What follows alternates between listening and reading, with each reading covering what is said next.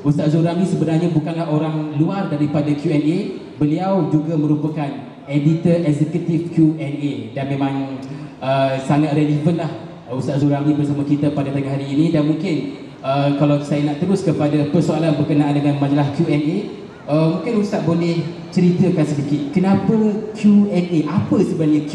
Apa sebenarnya A yang ingin diketengahkan oleh majalah terbaru kita ini? Silakan Ustaz. Namakan dia sebagai Q&A merujuk kepada question and answer. Ya kepada soal dan jawab. Dan soal dan jawab berkaitan dengan ilmu tarbiyah dan motivasi. Jadi apa saja soal jawab ya, tentang ilmu apa saja soal jawab tentang tarbiyah apa saja soal jawab tentang motivasi insya-Allah kita akan kongsikan kepada para pembaca sebagai panduan yang kita harap sebenarnya menjadi satu panduan yang paling dekat dengan apa yang masyarakat ingin tahu dalam menyelesaikan satu-satu persoalan. Ya, manusia mencari persoalan, mencari jawapan, maka tampil majalah ini sebagai merungkai persoalan. Ya, jadi sebab itu sebenarnya sehinggalah insya-Allah nanti kita akan buat bank soalan, ya, apa saja soalan daripada masyarakat kita akan kumpulkan dan kemudian untuk kita rungkaikan dia, kita rungkaikan dia. Dan kerana apabila kita telah merungkai persoalan Maka natijahnya adalah Membetulkan amalan-amalan kita.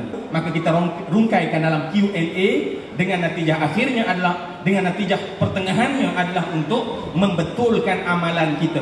Agar amalan kita itu lurus dan benar Bertepatan dengan Quran dan As-Sunnah. Bagaimana? Nak mengenengahkan kadang-kadang satu persoalan itu berat. Tetapi diringankan dalam bentuk soal dan jawab dalam bahasa yang kita semua boleh fahami. Tetapi sebenarnya ada perkara lain yang bukan membetulkan amalan tetapi membetul pemikiran. Yang membetul pemikiran dia adalah persoalan. Bukan soalan.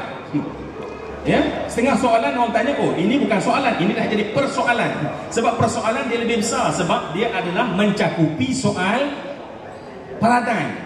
Bagaimana orang berfikir? Jadi sebab itu dalam Islam sebenarnya bukan sekadar dia membetulkan cara amalan Tetapi sebelum membetulkan cara amalan Dia membetulkan terlebih dahulu persoalan bagaimana cara berfikir. Bila sebut persoalan, dia ada lebih besar lagi. Dia mencakupi persoalan dia mencakupi persoalan persoalan disiplin ilmu. Jadi ada orang kata, eh apa perlu ada mazhab? Secara logik kita kata bahawa benda itu ada dalam ilmu Islam sebab kalau tak ada dalam ilmu Islam, masakan dia telah ada sejak 1100 tahun yang lampau, didisiplinkan dia. Kalau kita tak baca, kita manusia yang paling rugi. Ha, jadi sebab itu kita tak nak uh, benda itu berlaku dan kita tak nak orang membeli kertas tetapi orang mengabstrak ilmu yang ada dalamnya. Bagaimana caranya? Dengan penampilan yang mudah dipahami. Jadi itulah insya-Allah kaedah yang kita kemukakan dalam Q&A.